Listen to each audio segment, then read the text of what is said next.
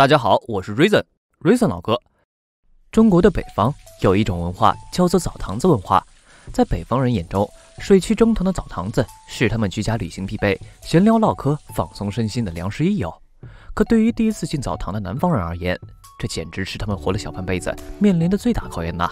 好不容易鼓起勇气走进澡堂，在迎面一堆白花花肉体的冲击下，大多数南方人还是选择了落荒而逃。而 Rayson 作为一个北方人，自然是对这种难上加难、左右为难的场景司空见惯。但澡堂子中有一样东西，却让 Rayson 都曾感到惧怕，它就是泡澡的浴池。北方人去洗澡，为了更好的搓下身上的泥垢，一般都会在一个装满热水的大池子里泡一泡。这可以说是北方澡堂子文化的一个必经流程。有些店家会选择在池子里添加一些蓝色的消毒剂，加的少倒还好。池子里的水是一种淡淡的蓝色，还挺赏心悦目的。但是加多了的话，池子里的水就会变成近似大海的深蓝色。而小时候的瑞森在面对这种深蓝色的水池时，就迟迟不敢下脚。一方面是因为烫，另一方面是因为当时的想象力着实丰富，总觉得水池中好像有鲨鱼在游弋，下去后很可能就会成为鲨鱼的美餐。现在回想起来，虽然挺傻的，但当时确实给瑞森造成了一定的恐慌。而这种对于深蓝色水面的恐惧，其实就是深海恐惧症。恐惧症又叫做恐怖症，是指对某些特定事物产生强烈和不必要的恐惧情绪的一种心理疾病。这是一种很常见的心理疾病，几乎每个人都有或多或少的恐惧症。而除了深海恐惧症之外，我们耳熟能详的还有密集恐惧症、恐高症、幽闭恐惧症、社交恐惧症等等。而维基百科中目前关于恐惧症的收录已经接近二百种。我们每一个人都会有恐惧的情景和事物。当恐惧症发作时，我们会有焦虑等各种症状，并且有反复或持续的回避行为。明知道恐惧不过分、不合理或不必要，但自己无法控制。下面就让我们一起来看看各类恐惧症的合集，欢迎大家对号入座。话不多说，正文开始。深海恐惧症是指在看到深海图片、海洋生物，甚至深蓝黑色时，就会产生恐惧。发作时会出现心跳加速、呼吸困难、流汗、震颤。头晕眼花或昏倒，胸闷作呕或胃部不适，严重时还会有窒息感，思维紊乱，神志不清。由大量对深海恐惧描述的内容可以发现，深海恐惧症患者焦虑的原因，大多是他们认为自己无法从深海这样幽深的环境中逃离，或是感觉深海的环境中存在着难以抵御的危险，进而影响自己的心理。Rayson 为什么会对澡堂子里深蓝色的池水感到恐惧？后来 Rayson 仔细想了想。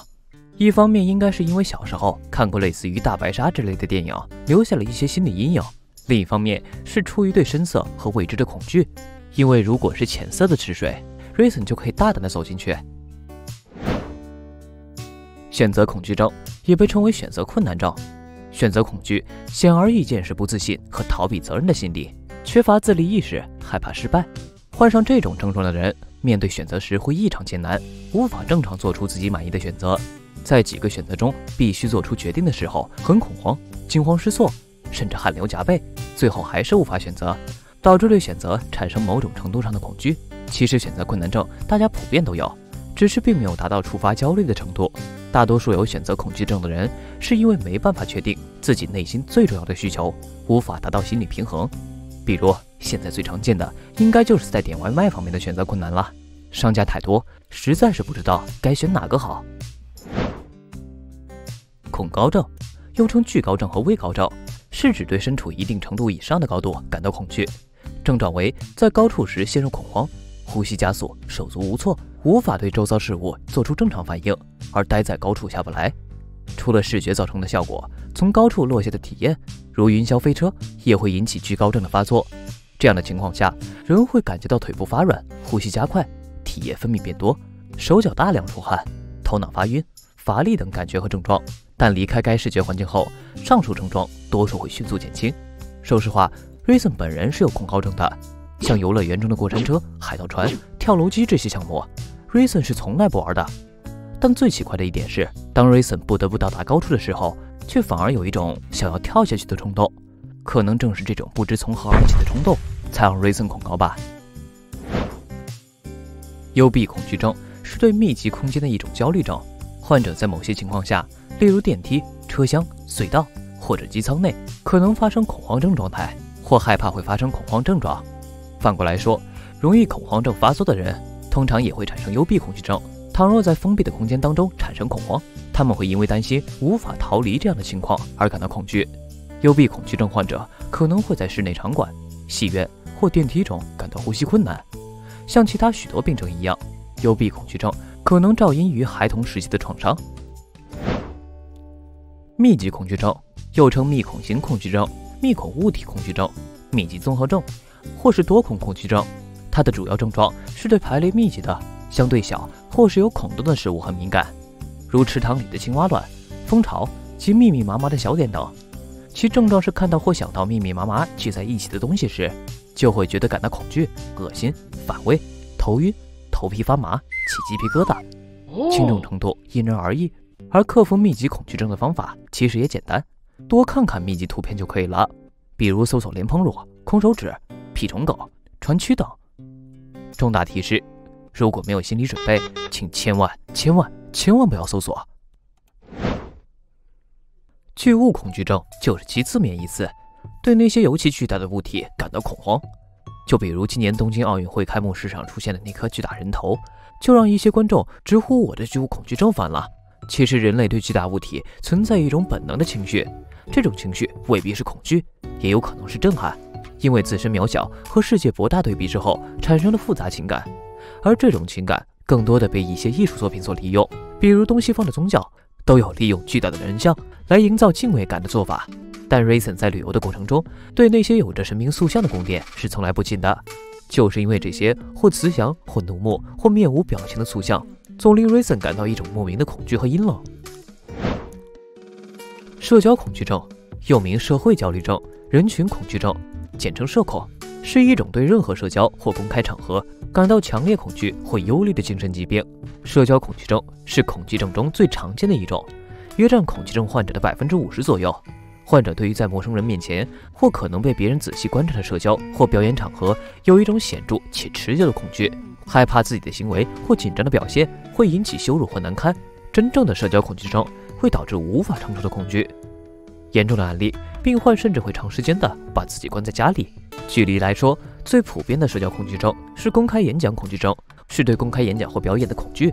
比较通俗的说法就是怯场。除了以上几种我们常见的恐惧症之外，人类对于事物的恐惧可以说是多种多样。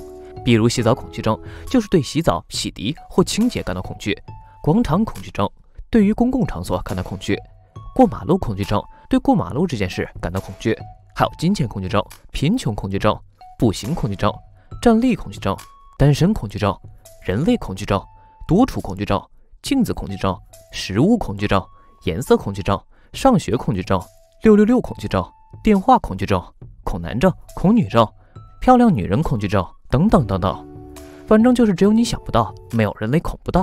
说了这么多恐惧症，到底是矫情还是真的恐慌，那就见仁见智了。因为有的人本来没什么感觉，反而是在听到别人说起后有了恐惧感。但不可否认的一点是，恐惧来源于人类自我保护的生理本能。人类之所以能从数亿年的物竞天择中生存下来，并站在食物链的顶端，可以说主要是恐惧情绪在起作用。对巨型猛兽的恐惧，让人类懂得趋利避害。对疾病的恐惧，让人类在疾病的治愈领域不断前行。继而，一些特定的人群，他们对某些事物有着不同程度的恐惧。这些恐惧有的是与生俱来，有的则是后天形成，也许也是出自同样的原因。有的学者猜测，密集性恐惧症可能具有一定的进化基础。成簇的孔洞之所以令人厌恶，是因为它们碰巧与危险动物有相同的视觉特征。而人类为了生存，已经学会了避免具有这种特征的物体。换句话说，如果图片具有这种光谱特性，即使不是由密集孔洞组成的，也可能诱发类似的厌恶情绪。如果你实在觉得恐惧影响到了你的生活的话，那么就是时候搬出那句至理名言了：消除恐惧的最好办法就是面对恐惧。好了，本期视频到这里就结束了。如果大家有自己的见解，或者觉得视频某方面有误的话，欢迎在评论区留言讨论。如果你觉得这个视频对你有帮助的话，欢迎订阅点赞，我们下期不见不散。